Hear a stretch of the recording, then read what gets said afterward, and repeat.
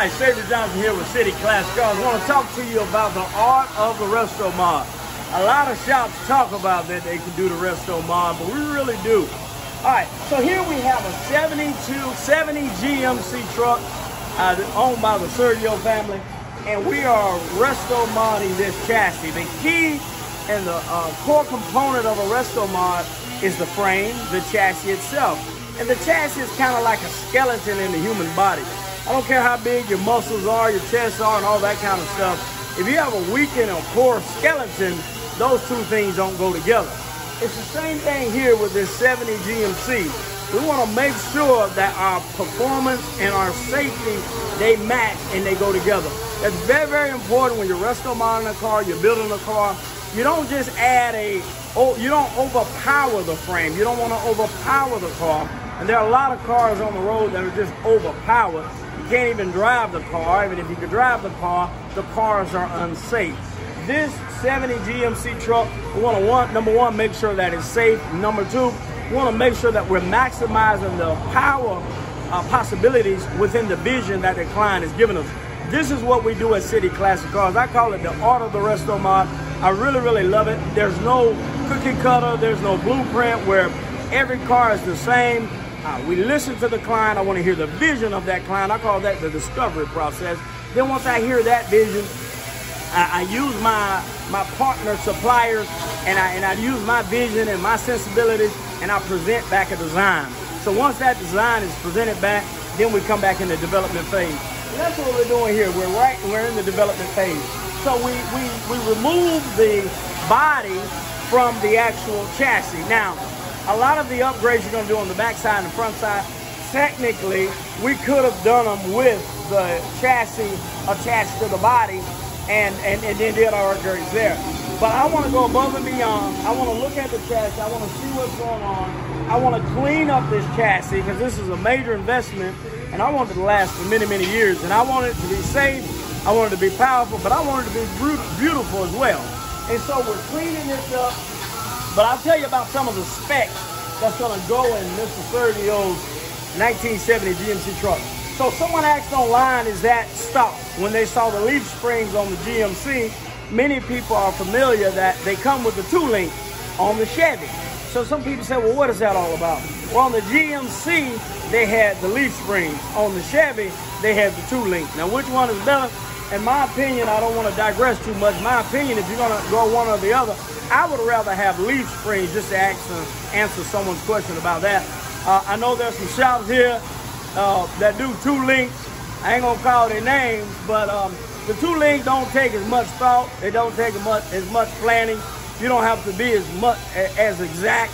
It's a little bit easier. How about that? So there's some shops around here do two links. You know who you are.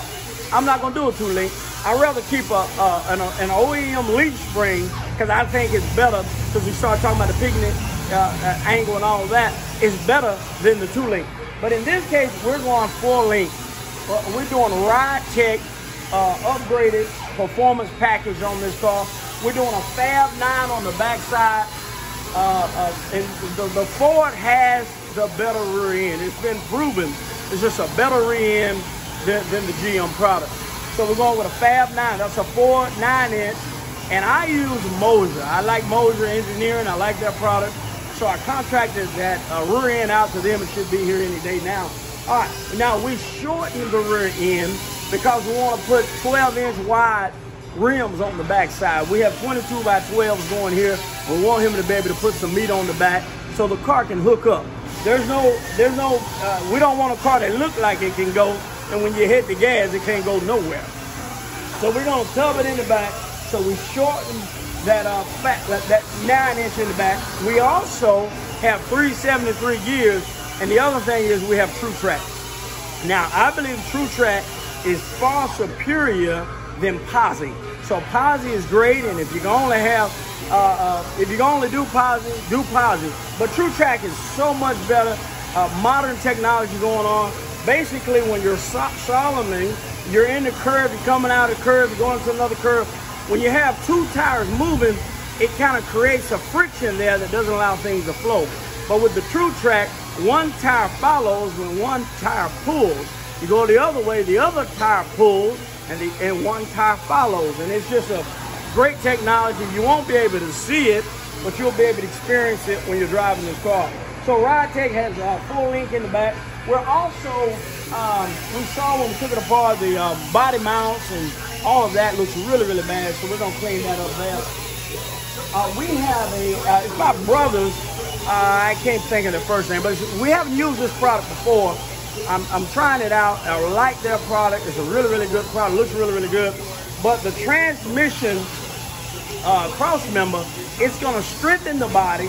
We're trying to keep on this design much of the original OEM uh, texture of it because this is not a, a purpose-built chassis. Oftentimes when you're resto modding, you can use your original chassis, beef it up, give it give it some enhancers, and that chassis will be just as solid as it would if you were purpose building one.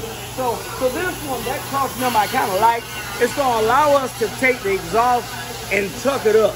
So I like that fact. And then it's made to handle in the, the incorporation of the LS3. So that saves fabrication time on us, which saves fabrication cost to the client. And that's the beauty of resto modding. That's the beauty of the aftermarket.